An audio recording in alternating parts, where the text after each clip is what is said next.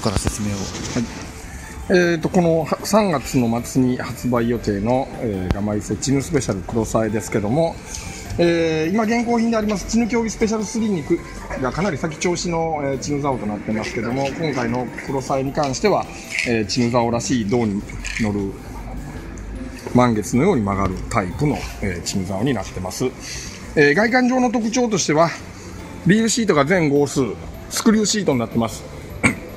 最近流行りのあの島野さんなんかの小型のレバーブレーキ付きのリールなんかでもきちんとあのしっかり保持できる、えスクリューシートになってて、えとても使いやすくなってます。で、え値段的には前作黒枯れさえとあの値段的には同じような感じにはなるんですけども、えー難聴で前の枯れさえが0.25ぐらい。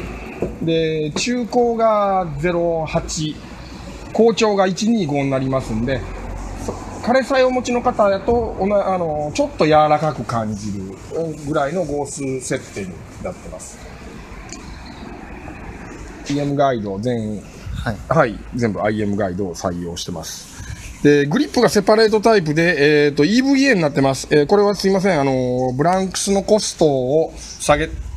ブランクスをきちりたくなかったんで、えーこのようなちょっと形状にして、えーコストダウンを図って、なんとかこう、店頭で6万円でお釣りの来る金額に合わせてあります。ぜひあの今からでしたらまだ3月末の発売に間にあの間に合いますんでご予約はぜひお早めにお願いいたしますかなり柔らかいですね。そうですね、まあ、チノザオですから、あのーかなりあの胴に乗る柔らかい感じのサウンドになってます。かけてからのやりとりがそうですね。長く、長く楽しめるという。